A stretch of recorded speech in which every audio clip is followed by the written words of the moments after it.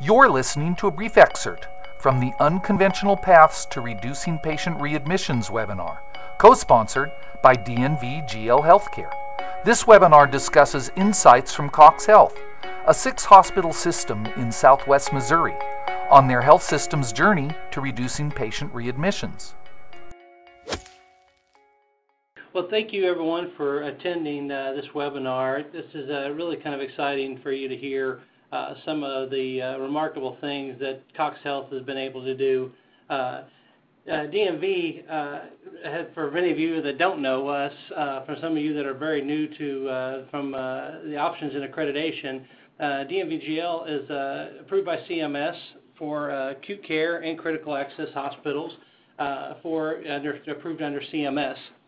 Um, namely, as we approach this uh, process, we have done so in, in a different way, but really our main, I guess, core competence, if you will, uh, and the purpose what drives us is to safeguard life, property, environment. So everything we do really kind of leans to that side um, and how we can help organizations and applying this really into uh, a healthcare sector uh, as we've done in so many ways with hospitals that we've grown in the U.S. Um, and we've also applied this globally uh, outside the U.S., and we're actually in multiple industry sectors uh, as this relates to DNVGL and how we are really kind of helping uh, organizations create value meeting, obviously, needs of them as an organization, their customers, patients. Um, and what we're trying to drive is really sustainable business performance um, through our certification, verification, accreditation, uh, assessment services and, and how we approach this process.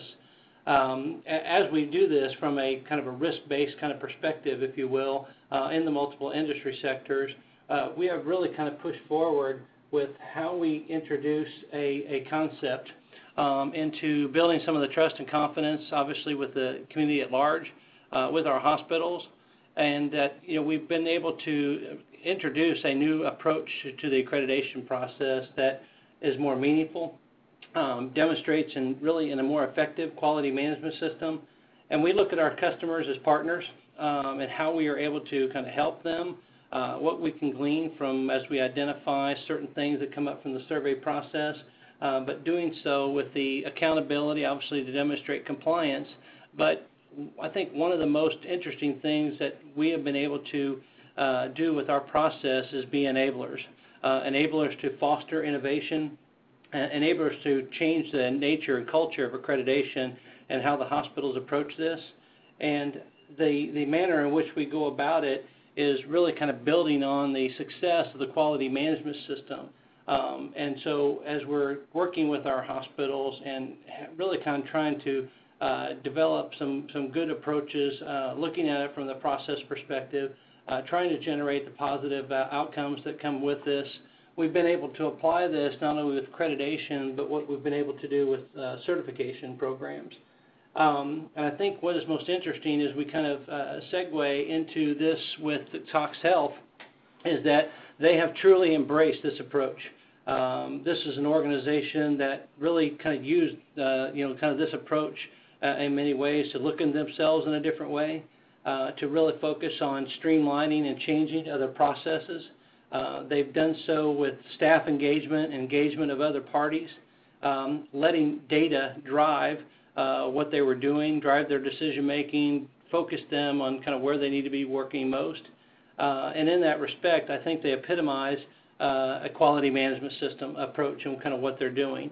And as as we're really trying to do with this process and uh, there's also a case study uh, in this regard for Cox Health that we will share as well. But I think one of the most interesting things that you'll hear is how they've gone about this process, what they've been able to glean from it, uh, as so many hospitals struggle with uh, how do they reduce readmissions. Um, this is very impactful uh, from a reimbursement standpoint um, and really kind of the overall patient care aspects. Um, but the, the folks at Cox Health have done uh, an amazing job uh, at approaching this process in, a unique way uh, and how they brought others into this that uh, they will share. Um, but with that, uh, I'd like to introduce the folks with Cox Health and uh, if you would, uh, just talk more about kind of how you went about this process. You've been listening to a brief excerpt from the Unconventional Paths to Reducing Patient Readmissions webinar presentation. This webinar was co-sponsored by DNVGL Healthcare and recorded on November 15, 2018. The full webinar included discussion from Patrick Horine, President and CEO, DNVGL Healthcare, and from Cox Health, with Amanda Hedgpeth, Vice President Clinical Services, Jared Graves, Performance Improvement, and Kari DiCianni, Systems Director, Performance Improvement. The full webinar also includes an extensive Q&A session with the audience. You'll want to be sure to watch the full one-hour webinar video. To do so, use the link to the full video, which also appears now on your screen.